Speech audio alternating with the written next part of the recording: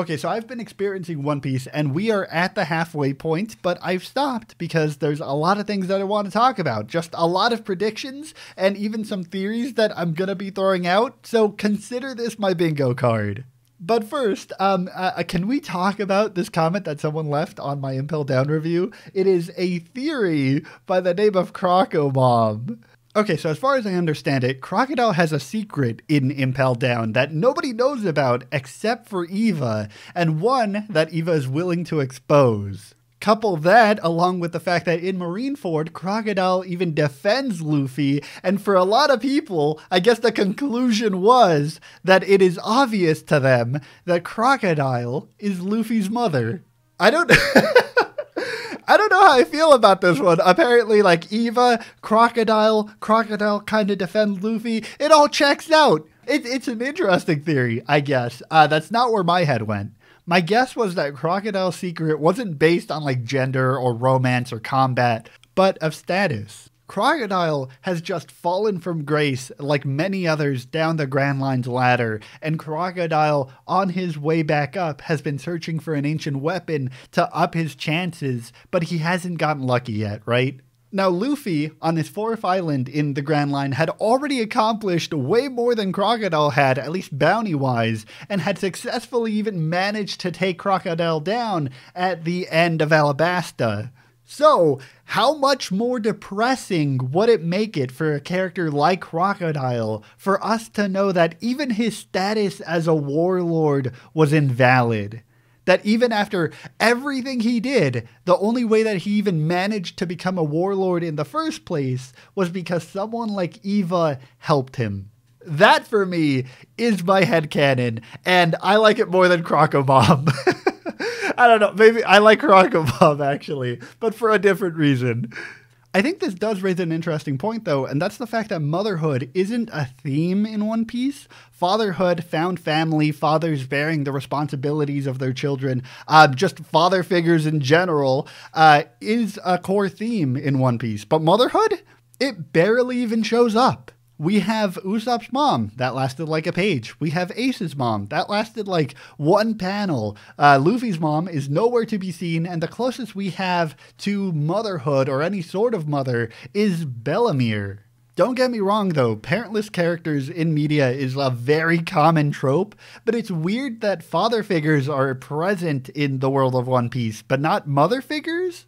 Maybe it's because they don't have alliteration. I think a big question in the world of One Piece is where do devil fruits come from and how do they work? I think Blackbeard plays a pretty big role here because he's changed the idea of how devil fruits work. He is able to absorb multiple fruits, but how and why? I don't really like the idea that the black hole fruit is special and is able to absorb multiple fruits, or the idea of him having a twin brother that he like absorbed in the womb and that's what makes him have uh, multiple fruit abilities. I don't really like that idea. At the moment, this is one of the few things that I think breaks the logic of what we currently understand from devil fruits, which makes me question how do they actually work? I think Whitebeard's death does raise a lot of theories involving devil fruits. I think that this moment right here gives us a lot of information. For example, if a user dies, the fruit doesn't necessarily have to generate somewhere else for someone to get it. Do devil fruits even have to grow from a tree if the earthquake fruit didn't for Blackbeard to obtain it? I think the extra layer here is that we know that devil fruits have or are in some way made up of souls. And what I love is that the fruits have been thematically relevant to the characters that obtain them. So the question I'm having is is that a meta reason or an in world reason? What I'm essentially saying is, did Blackbeard obtain the earthquake fruit because the soul of that fruit gravitated towards him? It doesn't need to happen, but I think it would be pretty interesting if the Straw Hats somehow obtained a devil fruit. Like maybe Nami would try to sell it, or the whole crew would debate on who would eat it. We already know that Sanji wants a specific fruit, which, um, yeah, I really, I really hope he doesn't get that one. But I can't think of anyone in the crew who would actually want to eat the fruit. Though, I mean, here's kind of my tier list of who I think would be most probable uh, to eat one. I think that there's a lot of devil fruits that would be pretty interesting to see, and a lot of them have been hinted at in the story. In Marineford, we were told about mythical Zoan types, and immediately I wanted to see a dragon since the cover story has already shown a few dragons. And it made me realize that it's possible that there's already a dragon fruit user. It's it's dragon. Dragon has the dragon has the devil fruit. Okay, wait, hear me out. I'm not just saying that because dragon's name is Dragon. Okay, um, in Logtown, we know that Dragon might have used electricity here. And while you can say that it's likely that Dragon has an elemental fruit, like Enel with his electricity, he could also just be wielding a dragon fruit that has an electric element in a lot of media, elemental dragons are a pretty big cliche. There's water or ice dragons, there's fire dragons, but there's also electric dragons. So you could argue that this dragon here is a mythical Zoan type that's also an electric dragon. And what I like about this is that it also hints at the ability for there to be other elemental dragon fruit users. Um, also, also as a side note here from future me, um, Dragon was born on Goa Kingdom, right? So what if Dragon is a celestial dragon? I think that'd be pretty ironic, and it would also like tie him to Sabo even closer in the post wars flashback. Though, um, I will be honest, I kind of just came up with that one because Dragon is named Dragon, and the celestial dragons have dragon in the name. So, uh, yeah, I don't know. I don't know how strong that theory is, but there you go. okay, let's talk about Whitebeard and Fishman Island. Fishman Island was originally the island that the crew was supposed to reach. Uh, and so my question is what's going to happen after the two year time skip? What's going to become a Fishman Island? There is a possibility for nothing to happen. You know, it would be fine, I guess. A lot has changed in two years. But I say this because Whitebeard's rule over Fishman Island is what kept it stable. Without Whitebeard, are we going to see a ton of people going after Fishman Island? And are we going to see Fishman Island as like a now ruined, pillaged island? Because one of the things I really liked about Marineford is how Whitebeard's death after Marineford had a ton of ripple effects throughout the story. And so the big question is how will this affect Fishman Island, as well as any other island that Whitebeard was attached to that the Straw Hats come across? How will everyone react to the Straw Hats after the time skip? There's also been like a ton of other islands that we've been hinted at. Elbaf is a pretty obvious one, the land of giants, and is obviously uh, on my bingo list. In Little Garden, we were also introduced to island eaters with the giant goldfish. I'm just saying, it would be pretty interesting to see an arc take place during the consumption of an island, where an island is just eaten by a giant sea creature, or an arc that takes place inside of a giant sea creature. I like the idea of like a giant whale consuming an island and the crew, and we're just stuck inside of a huge whale. Wait, hold on. That's Laboon. I just, that exists. That's Laboon. All right, so island eaters are pretty interesting, but we've also seen just a lot of other big sea creatures big enough to actually hold islands. You know, the cliche thing would, of course, be to have a city or just an island on a turtle. What if we went the Shadow of the Colossus slash Breath of the Wild route of having civilizations on top of a flying bird? Because then you can connect the Blue Sea and the White Sea together. Look, I'm just I'm, I'm just spitballing here. Okay, uh, something that wasn't shown in the anime but was in the manga was at the start of Sabaody. It happened for like one page, not even one page, for like two panels, and that nobody talked about. It rained candy. Are we are we not going to talk about this? Idea 1. It's a sky island and it's revolved around partying and everyone's having a good time and some people drop candy down into the ocean. I think that's that's a pretty moderate one. Okay, a better idea. Idea 2. It's a flapjack situation.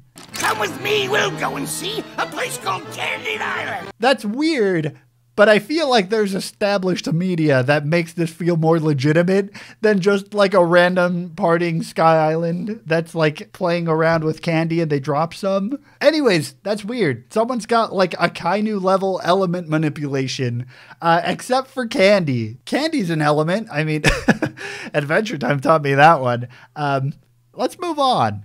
When the Straw Hats were scattered all over the world, Robin ended up on a bridge Island. It's interesting. I have a lot of questions on it. Like, one, where does it go? And two, uh, why?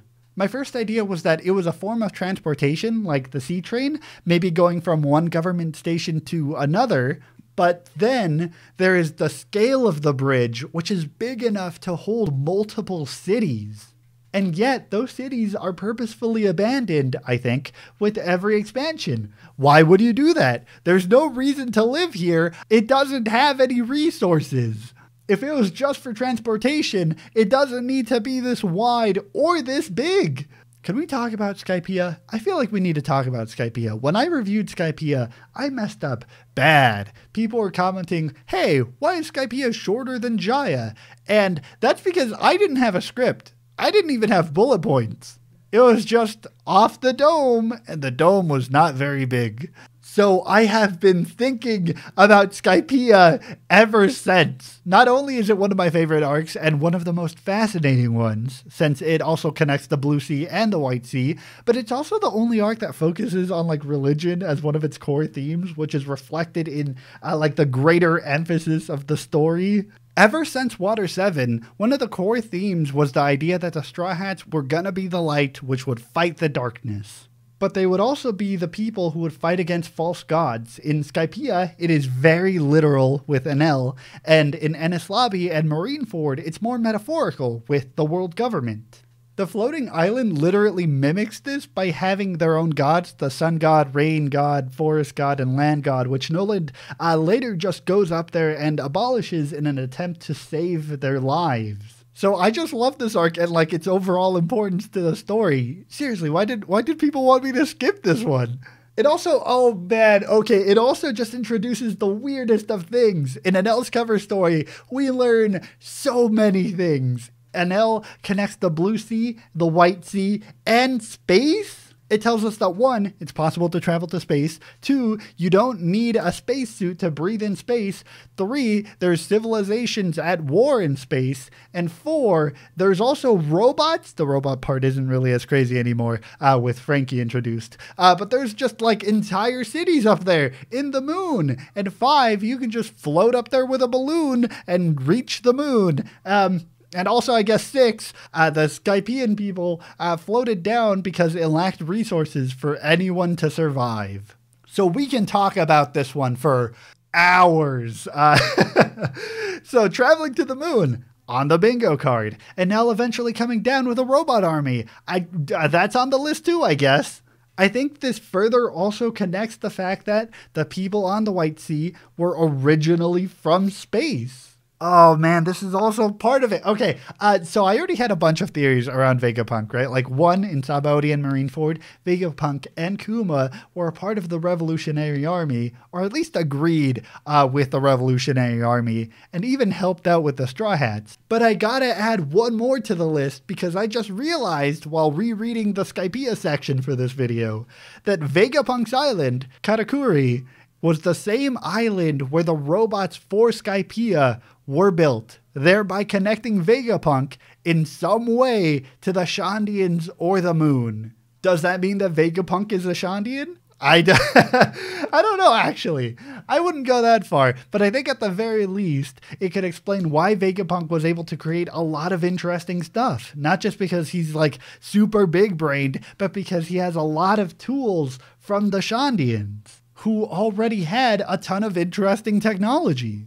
Before we talk about haki, I just want to talk about general power ups, right? We got Nami with the staff, we got like Usopp with the gizmos, and I think post war sets Nami up to naturally be able to learn how to use her elemental staff just way more effectively. I think Usopp, on the other hand, is just going to have a ton of gizmos in his satchel that we're not going to be shown for a while. And I say this because I do miss, and I wish there was a little bit more of this. Uh, I think it was like right after the start of Little Garden where we saw Usopp making a hot pepper ball. And I would like to see at least one panel of Usopp working with these things. And then we have Luffy and Gear Second. You know, when Gear Second was introduced to Luffy, I was kind of worried. I thought, uh oh, how is this going to affect the future? Are we eventually going to go down the infinite power scaling route where Luffy is eventually at gear 400? I think we're pretty safe though. I think gear second and third have had a logic behind them, which mostly makes me think that any other gear edition isn't going to be shown like a haha, now it can shoot laser beams kind of thing or whatever. You know, one of the big questions I got at the end of post war was hey, what about haki? I didn't really talk about haki at the end of post war, and a lot of people wanted me to. The thing is, uh, I don't have a lot of info on it. While it wasn't planned, I'm really glad that haki just managed to tie a lot of things together in a nice way to create a very thematically resonant power system. But I do have uh, some concerning questions regarding haki, and I'm curious to see how it's going to play out. So, my biggest concern is how haki is going to affect the engagement of the story.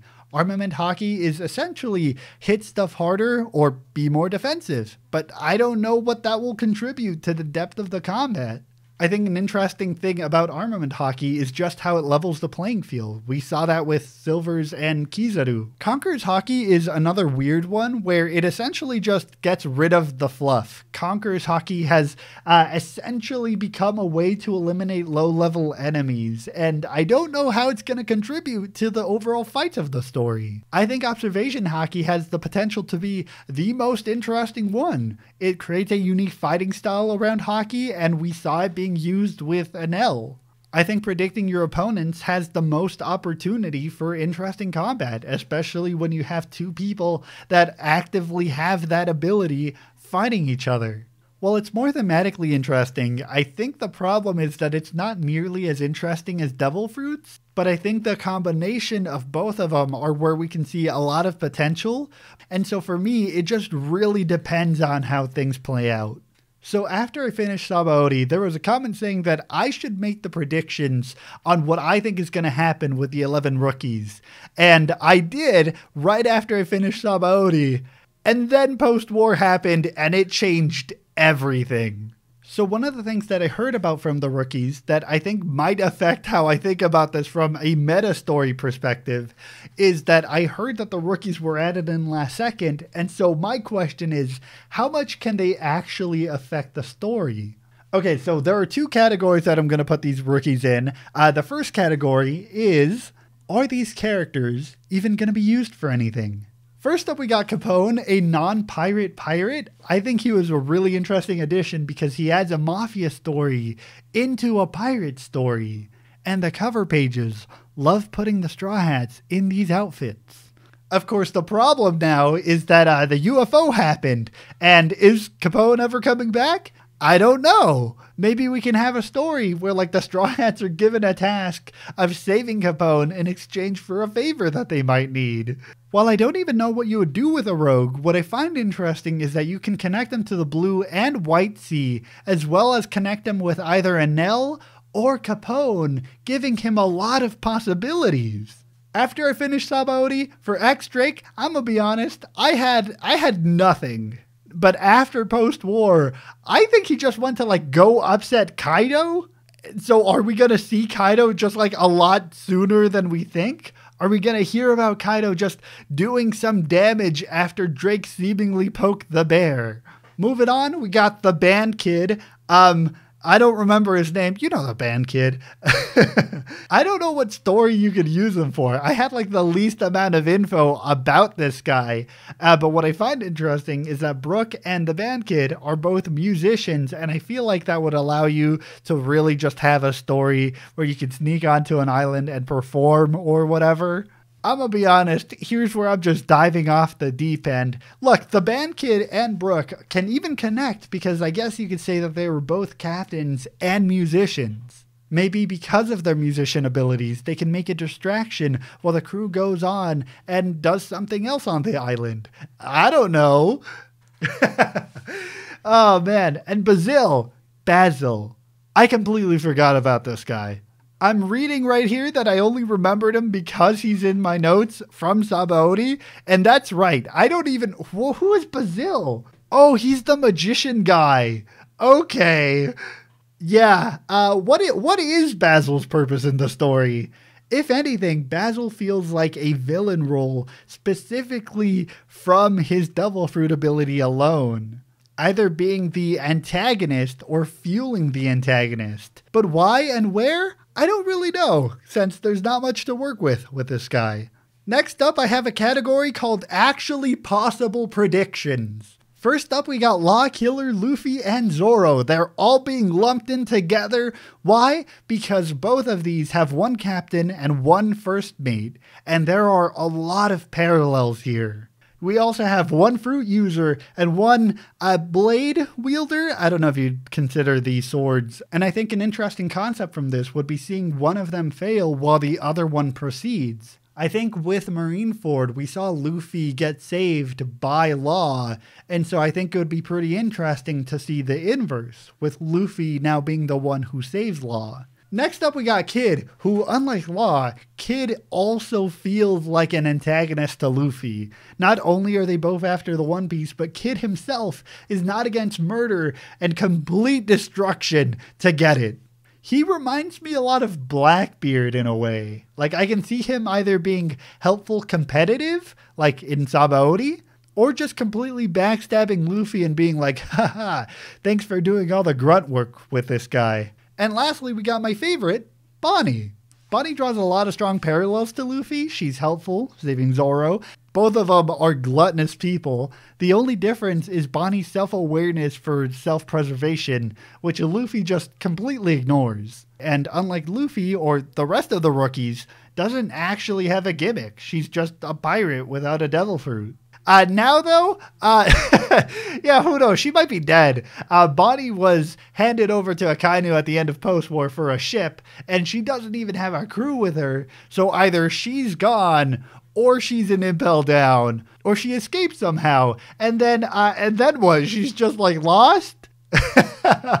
what I do know is that post-war Bonney is not up for a good time. You know, I didn't really mention the Emperors of the Sea. For half of the story, we have been focused on Whitebeard and Shanks, and that took half of the story. And Kaido and Big Mom are just hardly in this section. Well, Kaido hasn't been seen. We got to see a lot about him. One of the rookies was after Kaido. He got to take down a warlord and also challenge two emperors. So I love that we're hyping him up and ready to put him to use after the time skip. And as for Big Mom, well, we haven't seen her at all. We've gotten like two lines of dialogue on her, and and that's about it. So I'm really interested in her. What I'm noticing though is that if the death of Whitebeard and the war in Marineford created an entirely new era, are we also going to see that for Kaido and Big Mom and Shanks' downfall? I think it's more likely that instead of another Titan falling and getting three more eras, we're instead going to see a shift in the world, perhaps destroying the entire concept of emperors. Which leads us to this. I had to talk about this in some shape or form. The final question What is the One Piece? Here's what I find interesting from what we know about it so far. In Marineford, we know that not anyone can access the One Piece. It's most likely going to be a D member who is said to carry someone's will, and Blackbeard is not it. The story has told us that it's not just an object like gold, but it's a concept or an idea. And that's why Blackbeard can't have it. He's not one who can achieve this idea. And while I'm not saying that the One Piece is only an idea, I at least think that obtaining the One Piece is going to coincide with the creation of a new era and perhaps the destruction of the concept of emperors, as well as the Marines and Celestial Dragons as we know them. Or maybe uh, the One Piece is just uh, they're my Patreons. Whoa, what a what a twist! what if the one what if the one piece just didn't exist and Roger's just doing the ultimate prank? You open up a chest, it's a whoopee cushion, it says, haha, I got you. Um, he pulled a Noland.